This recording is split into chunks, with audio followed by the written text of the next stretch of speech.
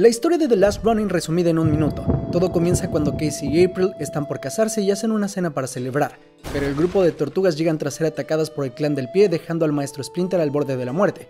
Hundido en ira, Rafael va en busca de venganza, masacrando al clan del pie y muriendo en un combate contra Karai. Splinter sobrevive y va con Donatello a Japón para saber por qué el clan del pie rompió la paz.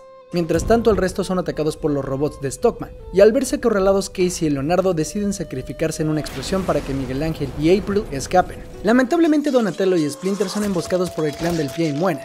Como responsable de todo, descubrimos al nieto de Shredder, Hiroto.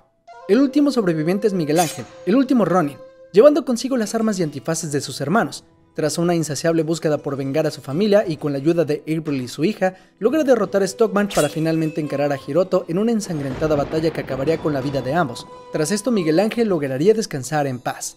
Sigue de Top Comics para más historias de tus cómics favoritos.